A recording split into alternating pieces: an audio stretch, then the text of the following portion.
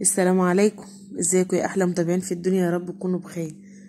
النهارده إن شاء الله هنعمل مع بعض وجبة فطار سريعة وجبة عشاء سريعة جميلة جدا وطعمها حلو قوي وبمكونات بسيطة جدا وحاجة جديدة جدا جدا.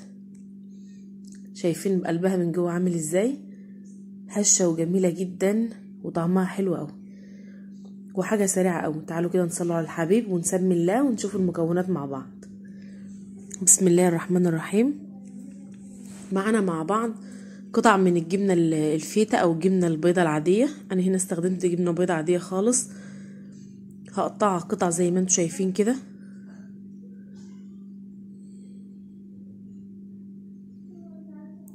هنقطعها قطع آه طويلة وبعد كده هنقطعها قطع مربعات صغيرة.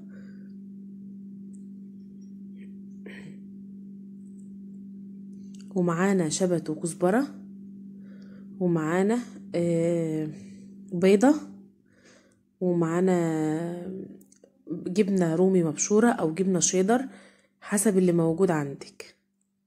زي ما تحب تحط فيها الجبنة اللي انت عايزاه هنعجن كل الحاجات دي كل المكونات دي مع بعض وهنضيف عليهم كوباية دقيق واحدة.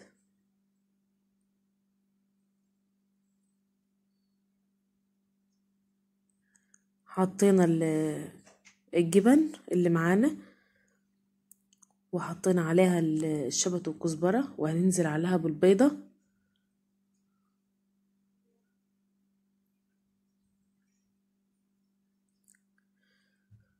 وهننزل عليها بكوباية الدقيق وهنعجنهم كلهم مع بعض كأنها عجينة بالظبط.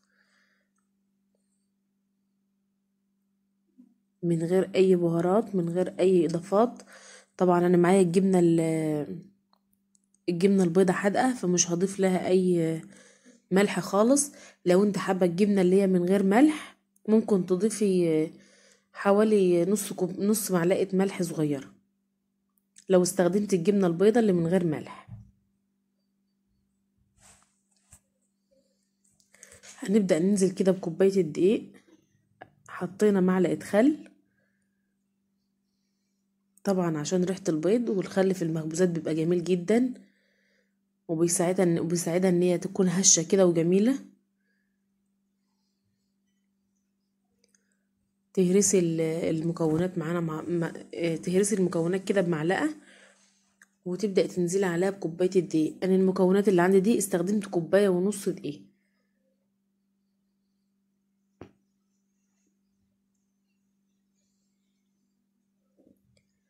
هي هتبقى قدامك كأنها عجينة بالظبط.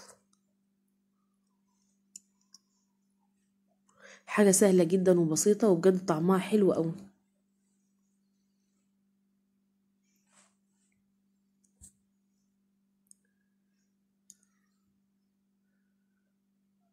بتبقى بتبقى حلوة أوي للناس اللي ما بتحبش الجبنة. في ناس كده ما بتحبش الجبنة أو أي مكون معين بتدخليه في أي حاجة بتغير طعمه.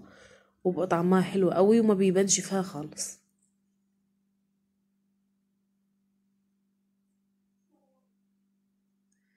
تعجني في إيدك وكل ما تحسي ان انت محتاجة دقيق عشان تتلف معاكي كويس بتحطي عليها شوية دقيق صغيرين.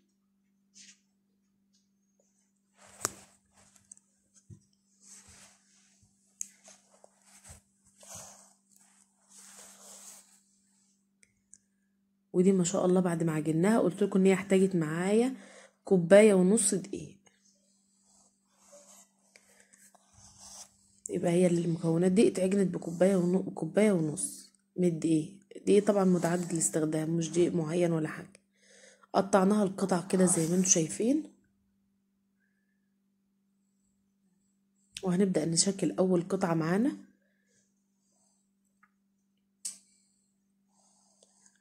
من الأحسن إن أنت تدهني إيدك نقطة زيت كده عشان تعرف تتلف معاكي كويس. يعني تحط على إيدك نقطة زيت أو لو لو لابسة كواندي أو حاجة تحط عليها نقطة زيت هتلاقيها اتلفت معاكي حلوة قوي وبتفردها كده زي ما أنت شايفة وبتبدأي تقطعيها كده بقطع متساوية.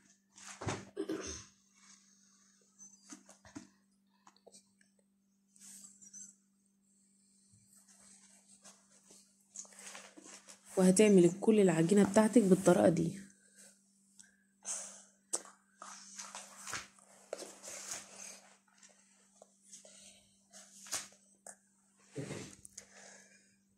زي ما قلتلك تحاولي تحطي نقطة زيت على إيدك علشان تلف معاكي العجينة كويس وهتلاقيها طالعة معاكي حلوة أوي وتبقى سهلة التشكيل.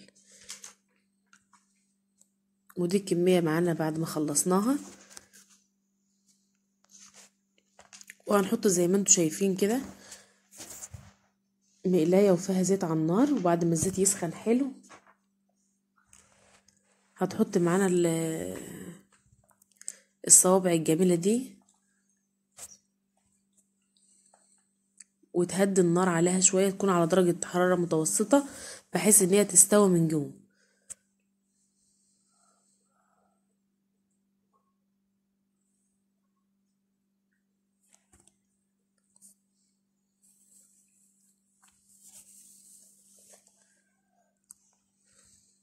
وجبة سريعة جدا وجميلة وطعمها حلو قوي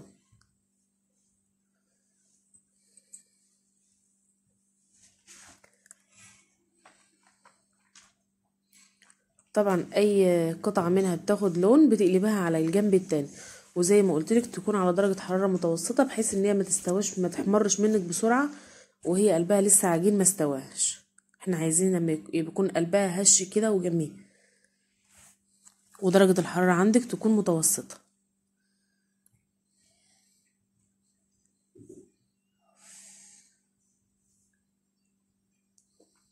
وبتكون في كمية زيت مناسبة بحيث إن هي ما تتحرقش منك من غير ما تستوي.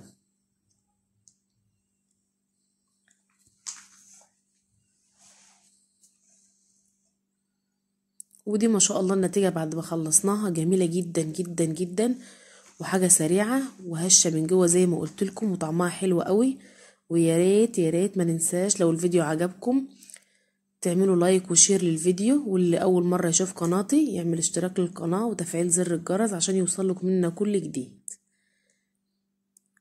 ودي النتيجة معانا زي ما قلت لكم تجربوها وتسيبوا لنا رأيكم في الكومنتات ويا ريت تكونوا استمتعتوا بالفيديو بتاعنا. وإلى اللقاء في فيديو آخر إن شاء الله.